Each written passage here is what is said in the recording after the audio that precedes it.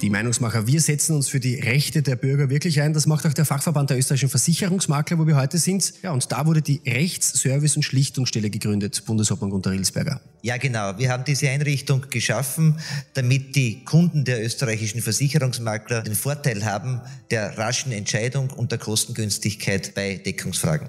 Welche konkreten Vorteile bringt mir das jetzt als Bürger, diese Schlichtungsstelle, die Sie da gegründet haben? Erstens ist das Verfahren unglaublich günstig. In vielen Fällen kostet das dem Konsumenten gar nichts. Und zweitens sprechen wir von sehr raschen Verfahrensdauern von etwa maximal zwei bis drei Monaten, während Gerichtsverfahren da oft zwei bis drei Jahre dauern. Konkret heruntergebrochen, ich habe einen Schadensfall, die Versicherung will nicht zahlen, kann ich dann zu Ihnen kommen? Wenn Sie Kunde eines österreichischen Versicherungsmaklers sind, dann haben Sie das Recht, zum Fachverband zu kommen und bekommen hier rasch eine richtige und ausführlich begründete Entscheidung.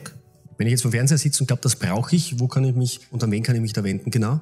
Am besten Sie kontaktieren einen österreichischen Versicherungsmakler. Der wird Ihnen erstens das beste Preis-Leistungs-Verhältnis vermitteln und zweitens haben Sie dann im Schadenfall den Vorteil dieser sehr, sehr kostengünstigen Schlichtungsstelle.